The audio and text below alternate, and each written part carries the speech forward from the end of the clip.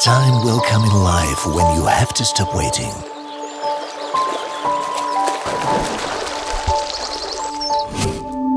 A time when you take matters into your own hands.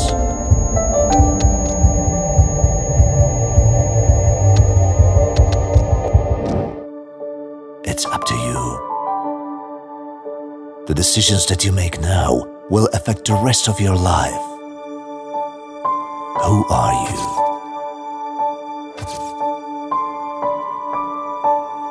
What are you looking for? Where do you belong? Who will you be?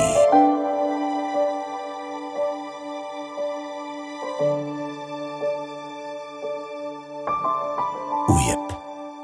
You will find yourself here.